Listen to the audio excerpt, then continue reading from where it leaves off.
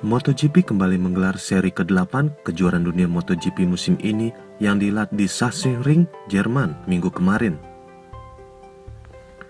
Sesaat setelah lampu hijau menyala, Mark Marquez yang berada di urutan kelima pada posisi start mampu memanfaatkan situasi dengan mencari celah di antara pembalap Johan Jarko, Jack Miller, dan Fabio Quartararo dan langsung memimpin di depan. Mark Marquez akhirnya mampu membuktikan dengan meraih kemenangannya di musim ini.